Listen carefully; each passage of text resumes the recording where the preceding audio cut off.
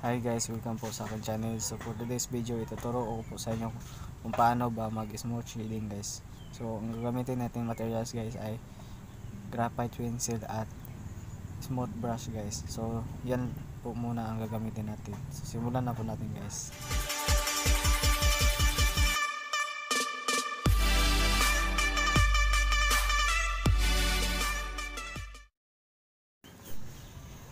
So, ang una natin, natin gawin guys ay gagamit muna tayo ng charcoal pencil para sa outline guys. So, ida-dark na muna natin guys.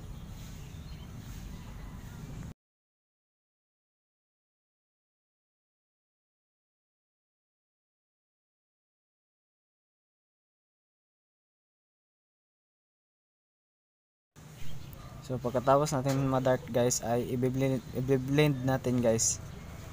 So gagamit tayo ng blending stamp guys. Or kahit ano guys. Pwede smooth brush guys. Then yung 2B pencil guys para sa kanyang eyebrow.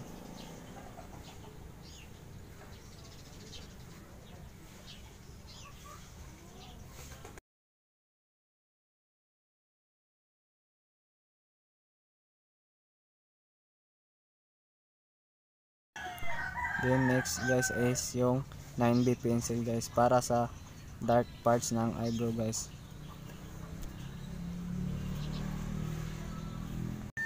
Katapos natin sa eyebrow guys ay magsisimula na po tayo mag mag-shade guys.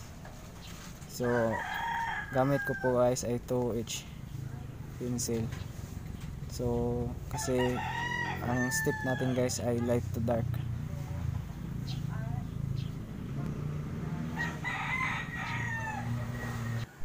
So, pasensya na po sa inyo guys na medyo nabubulol po ako guys kasi ganito lang po ako magsal magsalita guys.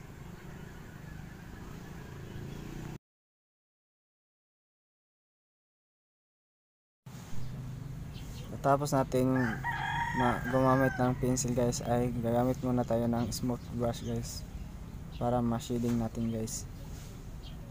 So, i-relax nyo yun lang po yung kamay nyo guys para hindi makapal yung pag shade guys.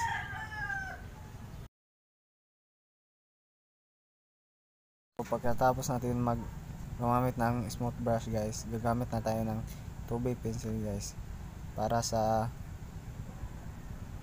gilid ng yung kanyang mukha guys. So yung 2H guys hindi po masyado dark guys. So two-way po ang gagamitin natin guys. Kasi medyo dark guys. Then i-shade natin guys gamit yung round brush guys. Yung makeup brush guys.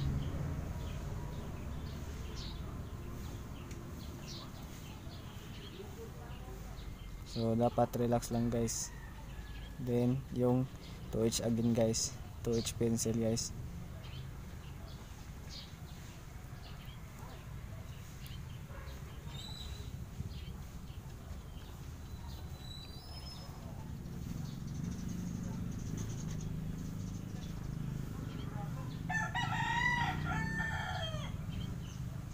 Then, i-brush natin guys gamit yung DIY brush guys.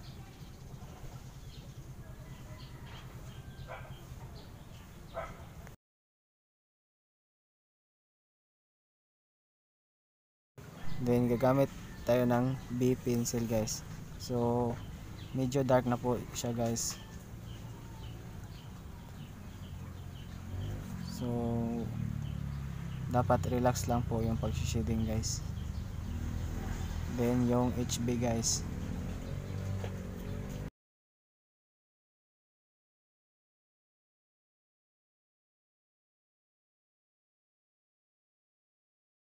Gamit tayo ulit ng round brush guys. So pag skin tone guys pabalik-balik po yan guys para maging smooth guys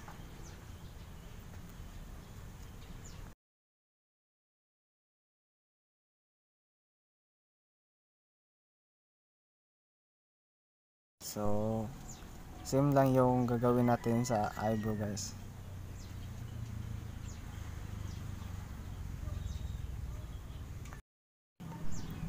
So, as you can see guys na naging smooth na po yung skin tone guys.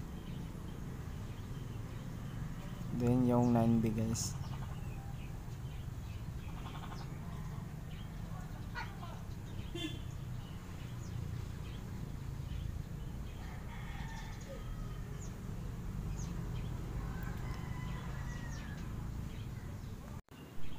Then yung charcoal pencil guys para sa outline guys. Then ida-dark natin yan guys.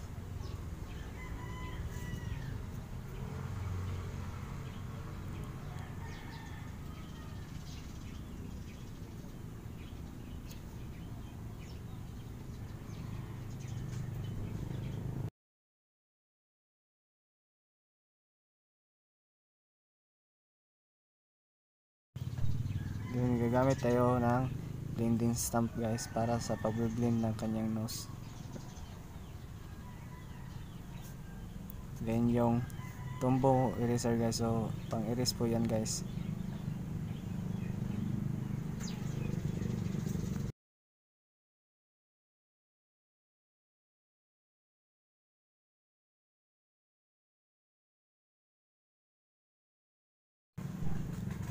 So sa kanyang lips guys ay apply muna tayo ng light guys. So B pencil yung ginagamit ko guys. Sa pag pag shade guys.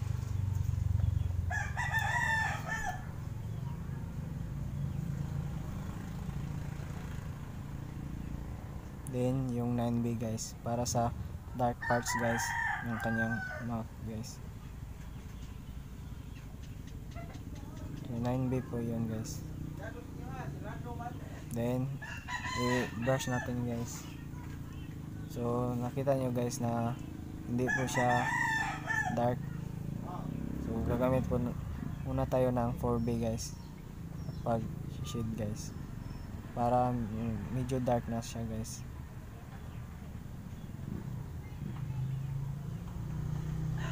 Then i-brush natin guys.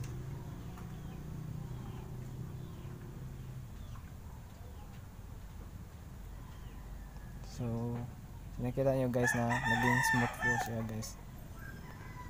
Then, mag-start na po tayo sa pag-skin tone guys gamit yung smooth brush guys. So, sa pag-brush nyo guys, dapat relax lang yung kamay nyo at wag yung masyadong idiin yung smooth ay yung brush guys para para maging smooth lang palagi guys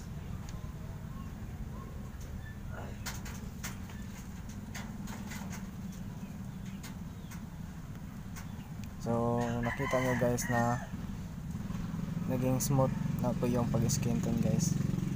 So, dak, yan lang po ang gagawin natin. So, hanggang dito lang po muna tayo guys at abangan nyo po yung susunod ko na video guys. So, please like, share, and subscribe guys. Then click the notification bell button guys para updated kayo sa sunod ko na video. Yan lang po. Maraming salamat guys.